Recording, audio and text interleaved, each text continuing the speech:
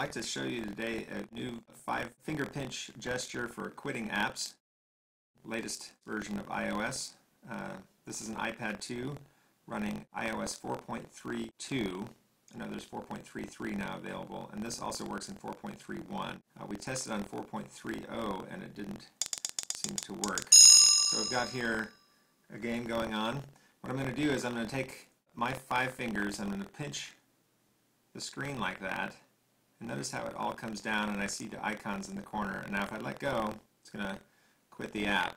Now, one thing else to notice is that once I start doing that gesture, it actually pauses the app. You can see that by looking at the progress bar. I'm not sure if you can see that or not, but the progress bar is paused. So it's actually not doing any work at this point. And so it's, it's paused, the app is paused, nothing's happening. And then go ahead and let go.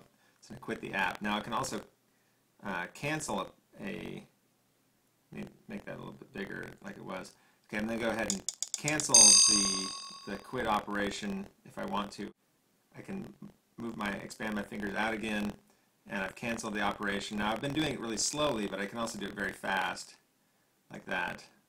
So you, you can have a very uh, kind of intuitive, except sometimes it doesn't work the way that I want it to, a very intuitive way to quit the app uh, besides just pressing the home button. So five, five finger quit, you can do it very slowly, and you can also cancel it by expanding your fingers again, which is pretty cool.